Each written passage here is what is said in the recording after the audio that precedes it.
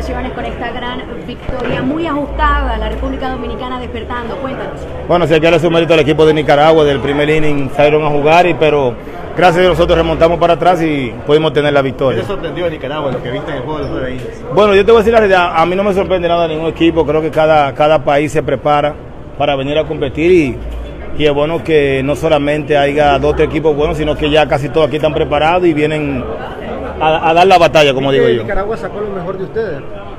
Es muy importante eso que sacaron lo mejor de nosotros, que así podemos despertar. Pero como dije, hay que dar un gran mérito al equipo, hicieron un gran trabajo. Lo único fue que la victoria vino del lado de nosotros. Detalles, Robinson, al final del partido para que se decía demasiadas cosas que pasaron en ese juego para decir que esto u otro fue la, fue la clave.